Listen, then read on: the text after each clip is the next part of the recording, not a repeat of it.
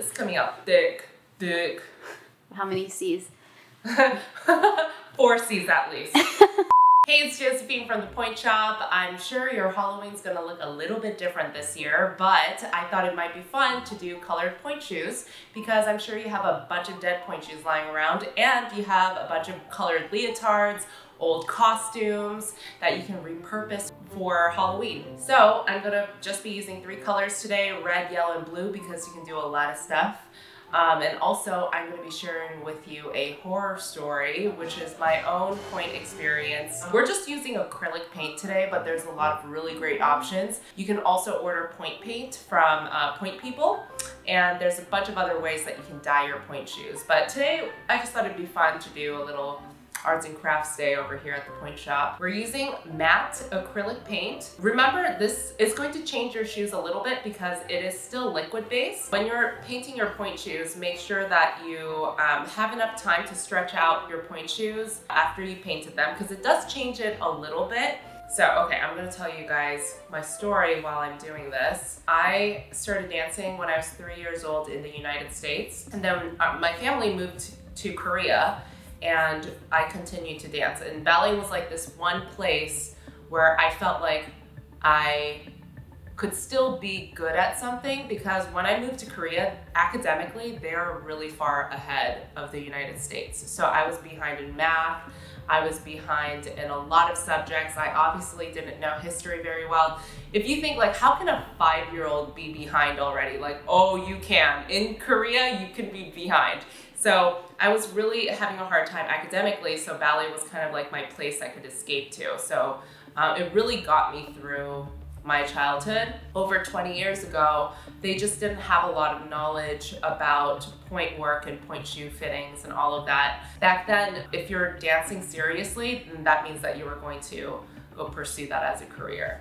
So they put me on pointe around six or seven. Don't do that, it's not good for you.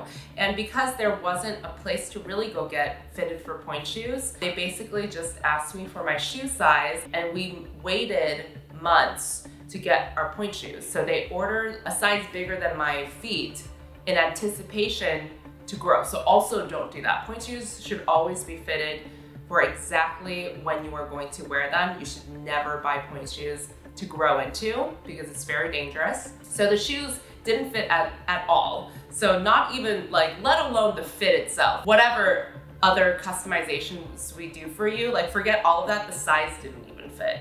So I had these shoes that were way too big for me. That was like part of my training and it was kind of horrible. This will take a little while for it to dry. That's another problem. So give yourself a few days before Halloween to do this. Okay, so I'm gonna do yellow. This could be, you know, you can use this as sunshine, sunshine.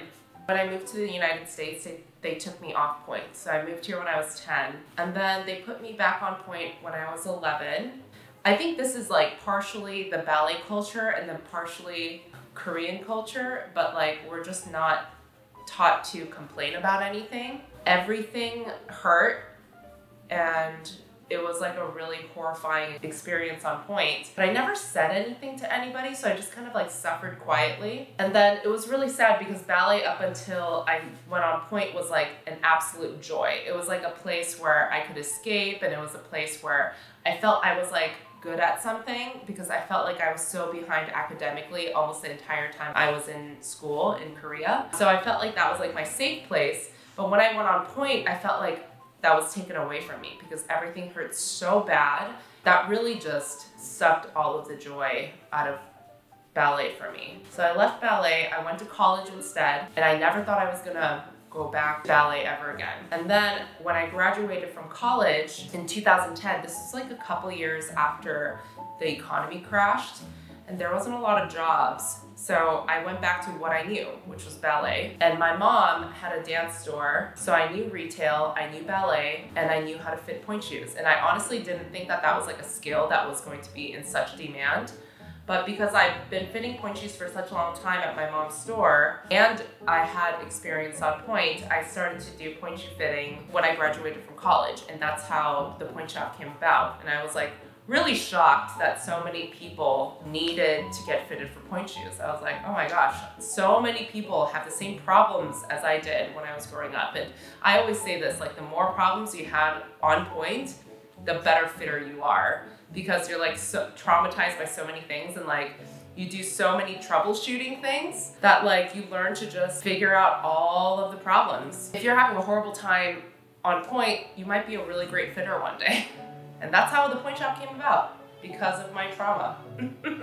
so our goal is that every dancer has access to a pointe shoe fitter who is knowledgeable and is trained to fit pointe shoes. Whether that's your physical therapist, whether that's your ballet teacher, whether it's your local pointe shoe fitter, I just want everyone to have access because what happens when you're in the wrong fit is that like you almost feel like it's your fault. Like what's wrong with me? How come i'm the only person in my studio where everything hurts? You start to like blame yourself. There was a comment on our wish video and um, somebody said this makes me wonder how many dancers are just in the wrong shoes but they think that they're just bad dancers. And that's true. Like pointe shoes is Obviously, it's not everything, but it's a big part of it. Pointe shoes can either help you or hurt you. So I think this is something that should be taken a lot more seriously than it has been in the past.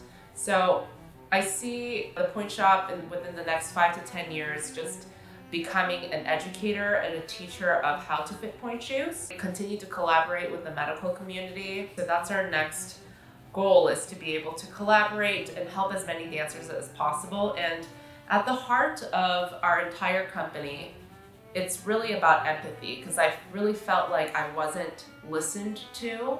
I just want there to be a little bit more listening. And even if you do something completely different, let's say like you become an engineer or you become a lawyer or whatever, like this should carry on with you. This is such a big part of your life.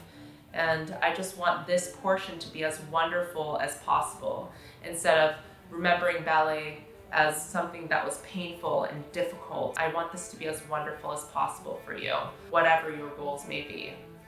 So that's why we work with so many other specialists around because we're all trying to help you. Obviously, our lane is shoes. This is a very, very tiny part of the industry. Like, you know, we just fit shoes.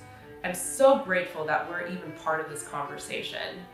And we hope to continue collaborating with people who are smarter than us, people who are more experienced than us, people who are knowledgeable in so many other ways. And uh, we're just grateful to be here. So that's where I see the pointe shop going in the future. This is really beautiful.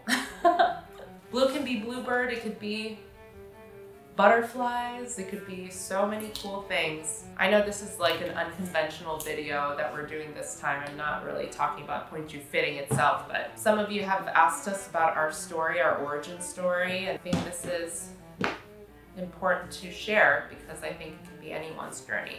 If you like this video, hit the like button, subscribe, hit that notification bell. If you have any questions, leave that on the comments as well.